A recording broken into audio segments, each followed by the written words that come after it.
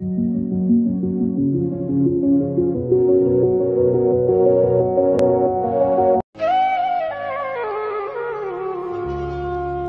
वर्षाला निरोप आणि नवीन वर्षाचे स्वागत करण्यासाठी आता नागरिक पर्यटन क्षेत्राऐवजी तीर्थक्षेत्राला प्राधान्य देत आहेत.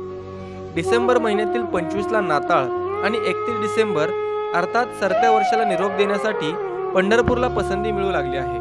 या काळात श्री विठ्ठल रुक्मिणी मंदिर समिती येणाऱ्या भाविकांना अधिकच्या सुविधा देणार आहेत. समितीने नुकतीच बांधलेले भक्त निवासामध्ये भाविकांना राहण्याची सोय माफक दरात केली असल्याची माहिती समितीचे कार्यकारी अधिकारी विठ्ठल जोशी यांनी सांगितली. दोन हजार वीस या नवीन वर्षाच्या स्वागतासाठी अन्य ठिकाणच्या सारखंच दक्षिणेची काशी मानलं जाणारं पंढरपूर तीर्थ तीर्थक्षेत्रसुद्धा हाऊसफुल होण्याच्या मार्गावर आहे. गेली पाच दहा वर्षाचा अनुभव विचारात घेता नाताळच्या दरम्यान बहुतांशी विद्यार्थ्यांना असणाऱ्या सुट्ट्या विचारात घेऊन हजारो भाविक हे पंढरपूरच्या दिशेने येताना दिसतात. हिंदू धर्मशास्त्राप्रमाणे जरी महत्त्वाच्या तिथींसाठी लोक पंढरपुरात येत असले तरी सुट्ट्यांची अडचण असल्यामुळं नाताळमध्ये बहुतांशी लोक हे वर्षभरात एकदा तरी पंढरपूरला येतात. माझं नाव सचिन लांबकडे आम्ही नाताळच्या सुट्ट्या असल्यामुळे मुलांना नाताळच्या सुट्ट्या असल्यामुळे आम्ही पिकनिकसाठी देवदर्शनासाठी निघालो आहोत. आम्ही आता इथे पंढरपूर दर्शन करून पुढे अक्कलकोट गाणगापूर तुळजापूर दर्शन करणार आहोत.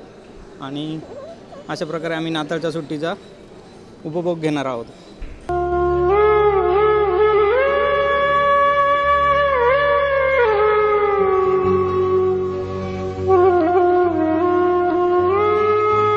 आजपर्यंत पंढरपूर तीर्थक्षेत्राला दर्शनाला येणाऱ्या भाविकांना राहण्याबाबत काही अडचणींचा सामना करावा लागत होता.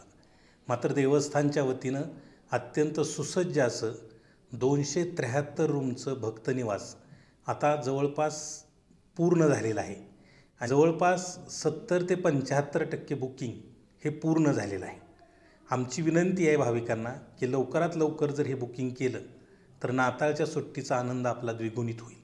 हे करत असताना सर्व भाविकांना अशी एक सूचना आहे की अनेकदा गेली अनेक वर्षे आम्ही ऑनलाईन बुकिंगची व्यवस्था केलेली आहे.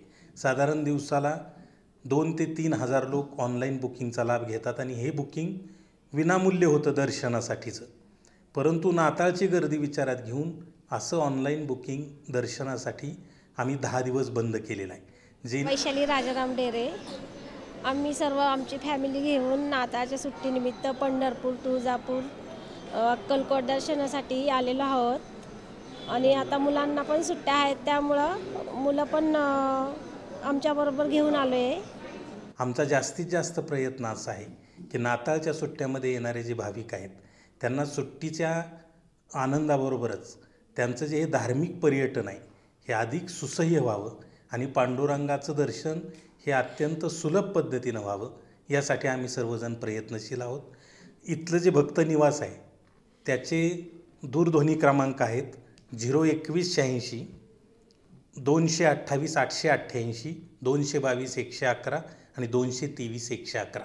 यावर जर संपर्क साधला तर आतापासूनच हे बुकिंग सुरू आहे. सत्तर टक्क्यापेक्षा जास्त बुकिंग झालेलं असलं तरी अजूनही बऱ्याचशा रूम ॲवेलेबल आहेत.